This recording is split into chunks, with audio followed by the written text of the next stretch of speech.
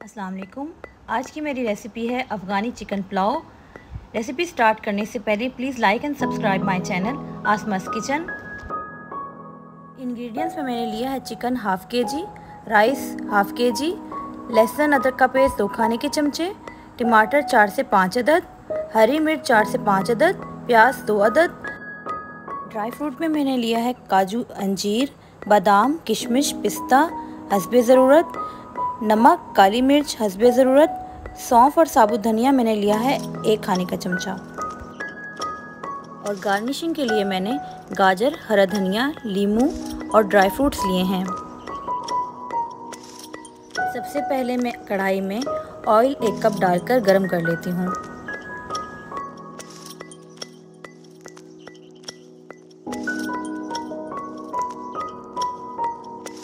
Oil गरम हो चुका है और अब मैं ऐड कर रही हूँ तेज़ पत्ता और छोटी इलायची।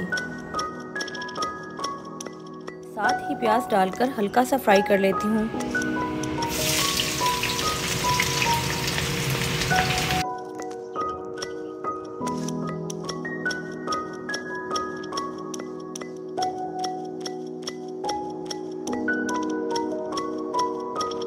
प्याज में हल्का ब्राउन कलर आ गया है।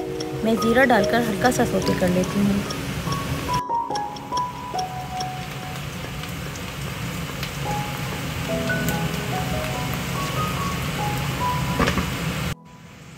चिकन ऐड करके पाँच मिनट फ्राई करना है।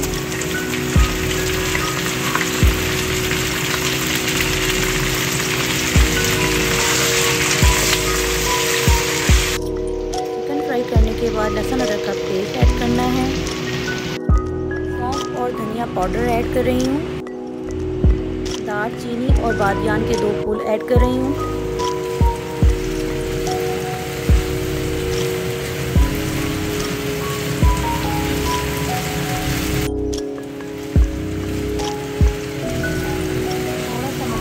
करना है। ज़्यादा फ्राई हो चुका है। अब मैं टमाटर ऐड कर देती हूँ। साथ ही नमक, काली मिर्च और किशमिश ऐड करके दम दे देती हूँ।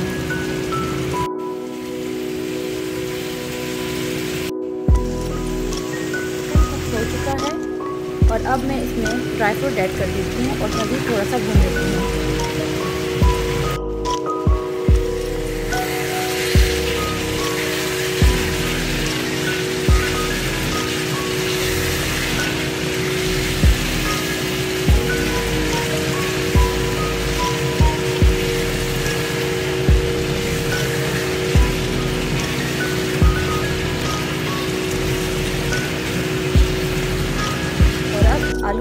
डालकर पानी ऐड कर देती हूँ।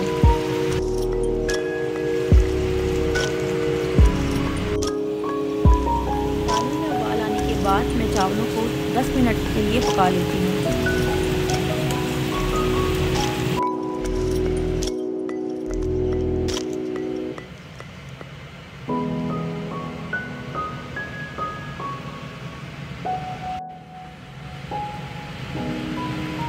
चावलों को दम लग चुका है और मज़ेदार अफ़गानी पुलाव रेडी है।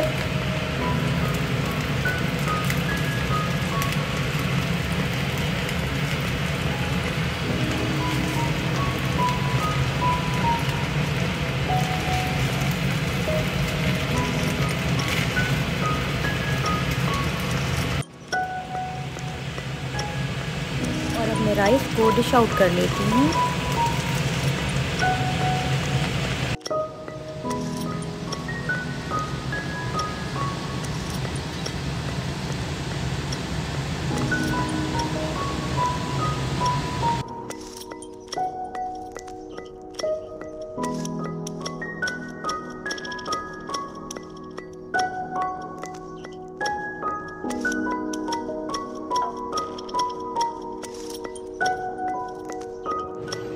मज़ेदार अफ़गानी पुलाव तैयार है। मैंने साथ में ग्रीन स्मोकी चटनी रखी है, जो कि पुलाव के साथ बहुत अच्छी लगती है।